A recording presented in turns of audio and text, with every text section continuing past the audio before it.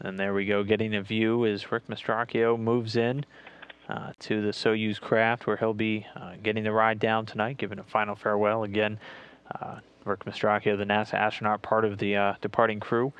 Here you see Koichi Wakata, the first Japanese commander of the International Space Station.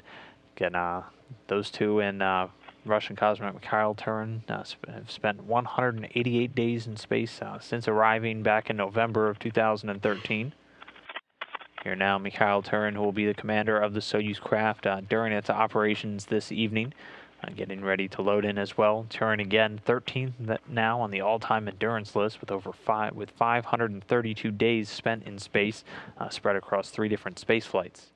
Following this hatch closure, they'll be doing a uh, number of leak checks to verify the vehicle's in a good config. But there we have uh, the hatch getting closed. Closed on the Soyuz side at 2.25 p.m. Central Time.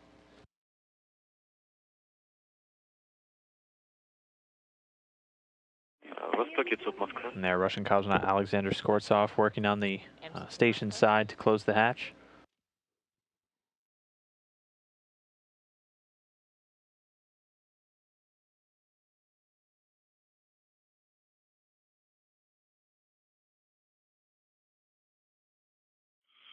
Опа, есть физическое расхождение. Режим ССВП выполнен. Now we have a SSVP mode. And physical separation confirmed. Observe mechanical separation. Смотрим стыковочный узел. Uh, We look at the docking interface now. We inspect Physical it. separation coming uh, right, uh, right on the dot, pretty much at 5:36 p.m. Central, while the station's flying 261 statute miles over uh, Mongolia. So the Soyuz craft, uh, TMA 11M, carrying Mikhail Tyurin, Rick Mastracchio, and Koichi Wakata, now separated from the International Space Station.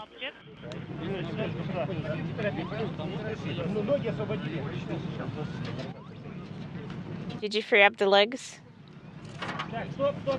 Hold on. Stop.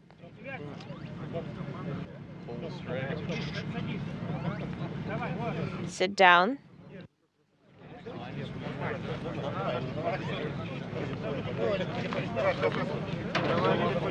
Be careful with the legs.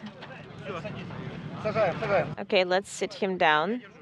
Okay, I'm holding him. Let him sit down for a little bit.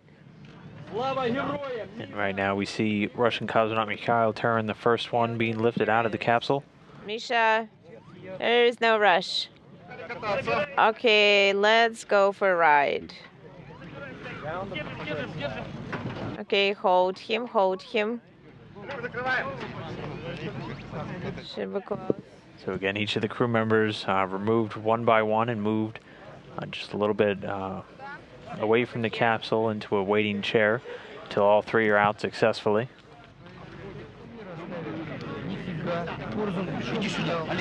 And now we see Japanese astronaut Koichi Wakata, the second to be extracted from the uh, Soyuz capsule.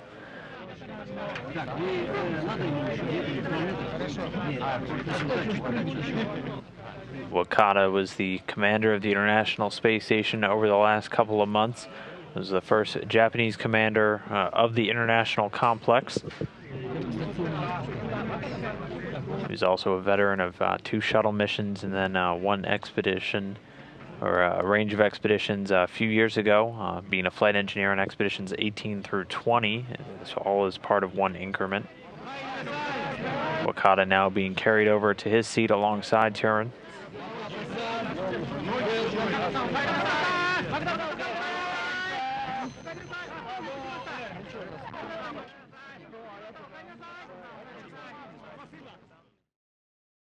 And there's our first view of NASA astronaut Rick Mastracchio again being uh, removed from the Soyuz craft now, the third and final crew member coming down this evening uh, or morning if you're over in Kazakhstan. Uh, he'll be handed down by the search and recovery forces here and moved over to join his uh, fellow Expedition 39 crew members. Again, with that, all three crew members now removed from the Soyuz vehicle. Why don't we go ahead and get a quick update now? Uh, NASA Public Affairs Officer Rob Navias is standing by at the landing zone. Rob, real quick, why don't you give us uh, your first impressions? How do how are, how does everything seem to be going out there? Good to talk to you, Dan. We're about uh, five feet away from the uh, Soyuz TMA-11M spacecraft. All three crew members now in their reclining chairs after a very uh, swift recovery. In stark contrast to what we saw two months ago, just two months ago, where the Expedition 38 crew was greeted uh, in an ice storm, zero degrees Fahrenheit, snow up to everybody's knees. It is a superb, scintillating morning here, uh, about 90 miles southeast of Dzhezkazgan. Temperatures near 70 degrees, a cloudless sky to greet the Expedition 39 crew.